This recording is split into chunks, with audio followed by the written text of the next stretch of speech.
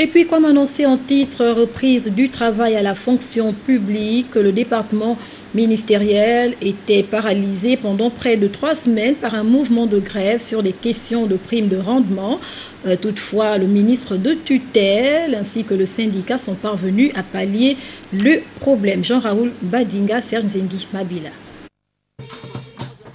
Des coupes dont les primes de rendement, une situation qui fâche plus de trois semaines de grève, instrument de contestation, la casserole, ont lieu place du dialogue pour démontrer toutes les incompréhensions.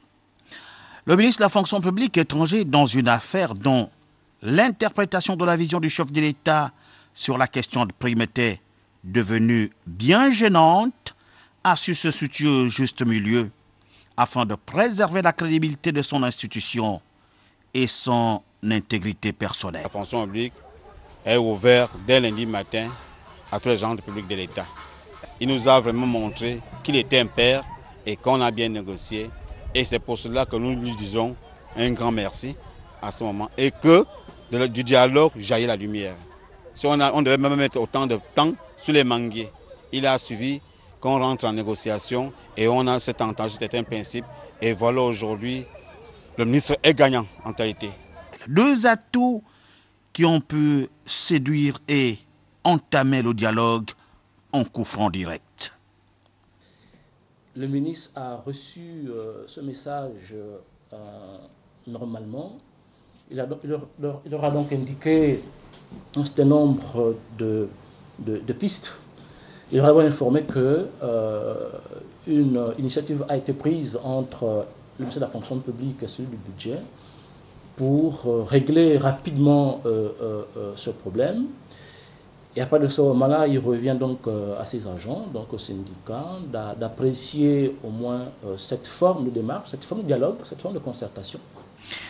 Mouvement suspendu au sortir avec l'espoir de régler ce qui constitue l'urgence. Ouais, la réunion que nous avons eue avec le ministre Serge Mabiala, il a fallu que nous descendions à la base, organiser une assemblée générale et on a fait le compte rendu de notre réunion, de notre entretien avec le ministre et l'assemblée, au, vu de ce qu'on a dit, a jugé utile de suspendre la grève.